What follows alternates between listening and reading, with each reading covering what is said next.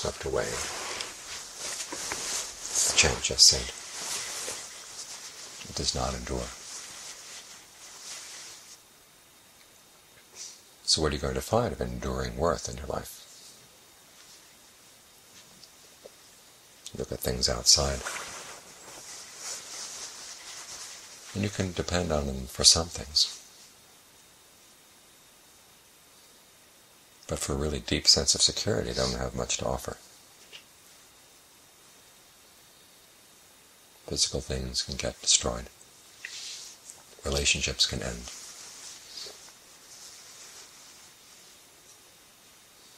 Society as a whole can break down.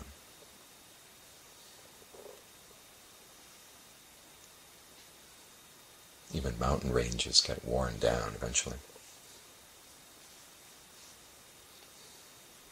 In a lot of cases we say, well, that doesn't matter as long as it lasts long enough for me to find some happiness. The wearing down of mountain ranges doesn't really impact our lives that much.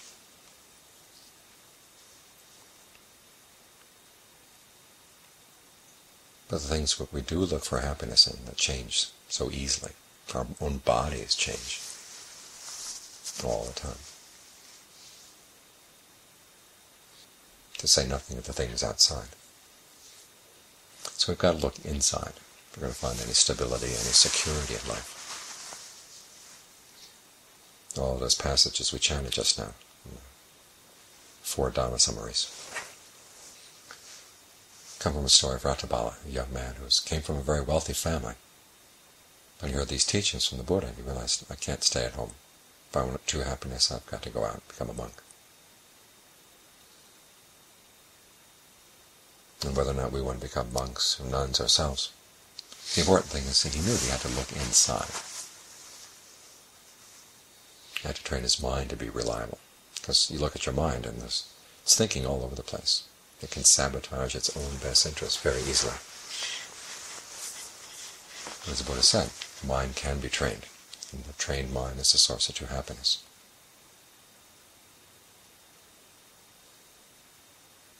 And all too often we balk at the idea of training the mind. Don't like the sound of the words discipline, training, having to force the mind, control the mind.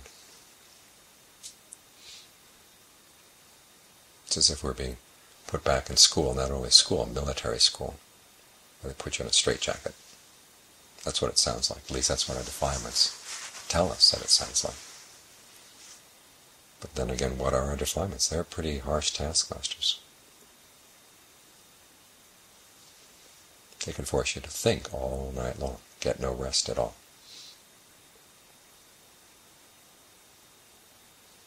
So the choice is not between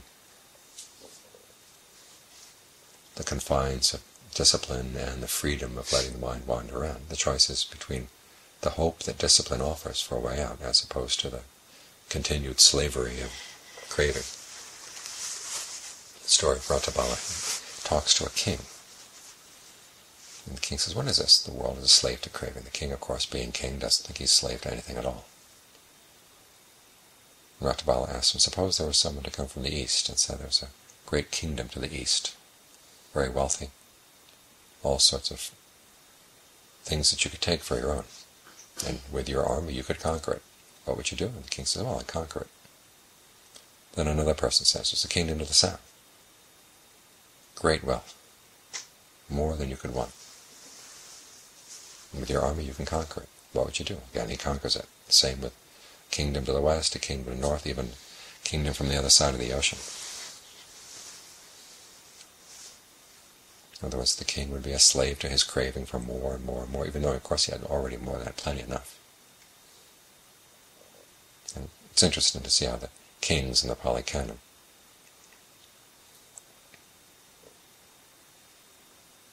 are representatives of the untrained mind. It's got a lot of power, but the power can destroy it.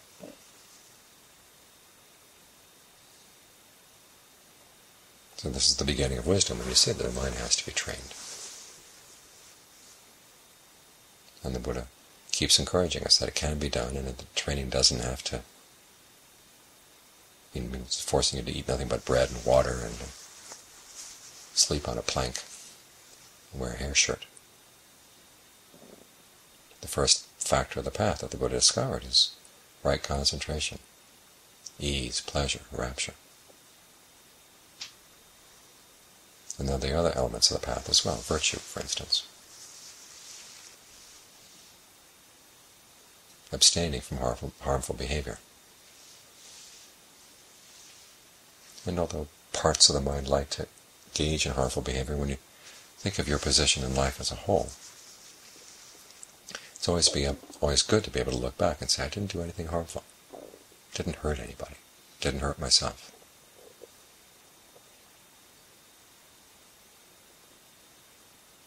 That ability to have no no regrets, and no, and really genuinely no regrets.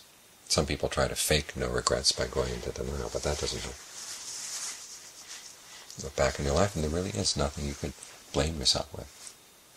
That's a treasure right there. That's a very strong form of happiness. And there's the happiness that comes from understanding, from discernment. Seeing where you have habits that cause unnecessary stress, unnecessary suffering. Understanding why you do them, and understanding how you can drop them. There's a great sense of relief that comes with that. So the training that the Buddha offers is not 300 spears a day.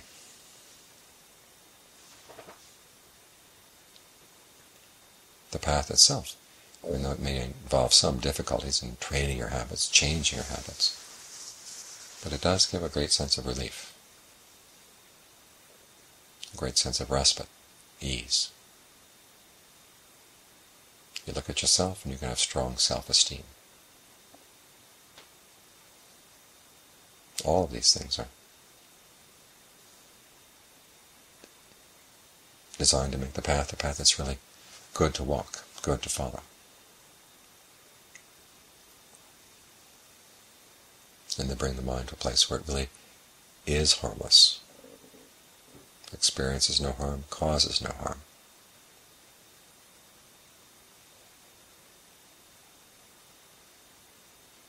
And there's a deep sense of well-being that comes with it.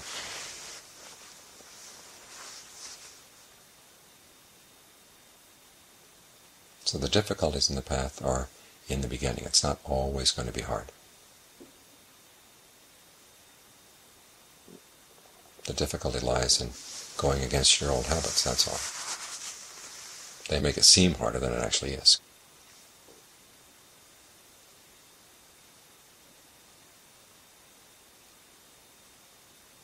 So on the, the days when the practice seems to get a little dry, remind yourself at least you're on a path, and the path is going someplace. It's going someplace good. You look around you and look at the the paths that most people are following. They wander around and they don't really go anywhere in particular.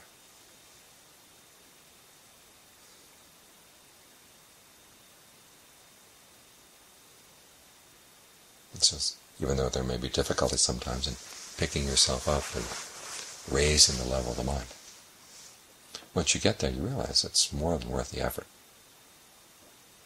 Just being able to get the mind to settle down and be with the breath, get absorbed in the breath.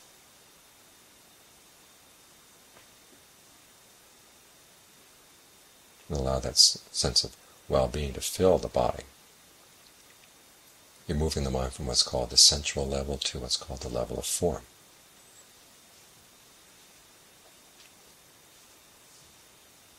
And the issues of the world can just drop away.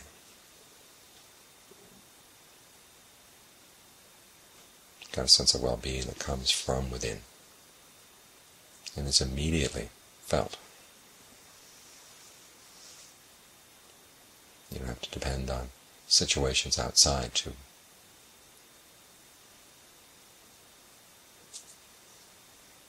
keep that sense of well-being going. It's a purely internal sort of thing. In the beginning it does depend on having the right environment, the right friends, a quiet place to meditate without distractions. But as that ability gets stronger, you can carry that well-being wherever you go. So you don't have to keep reading the newspapers to see what the stock market is doing and what's happening here, what's happening there, because your happiness doesn't depend on the things here and there outside. It depends on what's right here inside, right here at the heart. That takes a huge load off the mind.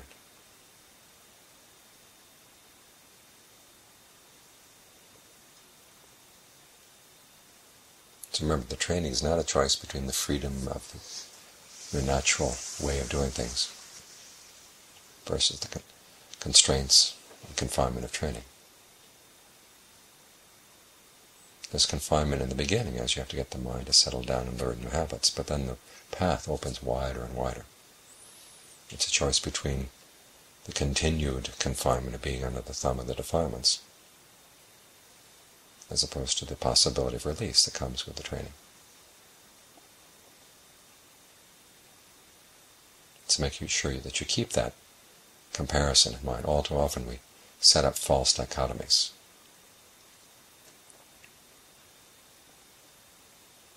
For instance, the only thing choices we have in the path are either to be neurotic, intense in our effort, or to be relaxed and open, not strive at all. If that were the only choice, of course you to be open and not striving. But there are other choices as well.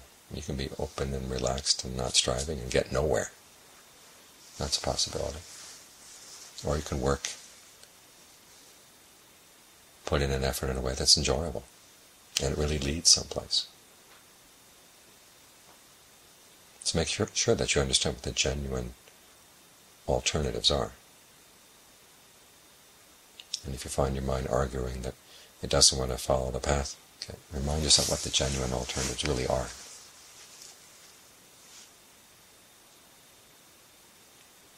And the opportunities by training the mind will always win out when you're honest with yourself.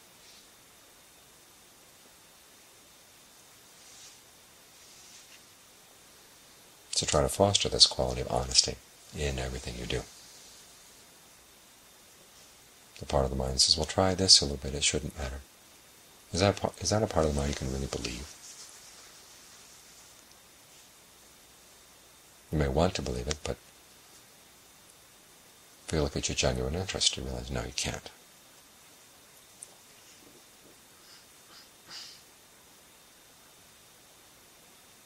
Heedfulness is the source of what's skillful.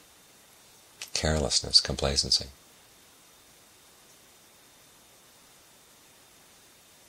That's not the path at all.